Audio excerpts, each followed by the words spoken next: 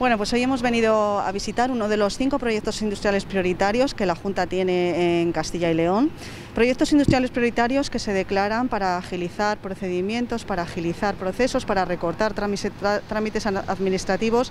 y facilitar, es decir, a las empresas, a las industrias que amplíen sus instalaciones y por tanto sus trabajadores en nuestra comunidad. Me alegra estar hoy con el director general y con el director de, la fábrica visitando este proyecto, este desarrollo de este proyecto industrial prioritario que la Junta de Castilla y León eh, realizó en febrero del 2020. Hoy se demuestra que eh, ha sido un proyecto industrial muy interesante para Castilla y León.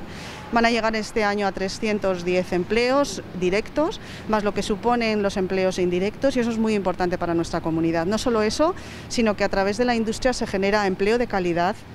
eh, un empleo de perfiles profesionales que estábamos hablando con el director general de formación profesional, que eh, formación profesional que necesitamos tener en nuestra comunidad para que este tipo de empresas puedan extender eh, estas instalaciones y tengan perfiles